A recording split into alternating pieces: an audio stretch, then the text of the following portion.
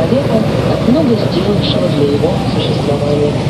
Во многом благодаря прокладке морского канала стало возможным построить в Петербурге пассажирский порт, который мы видим у окончания Васильевского острова.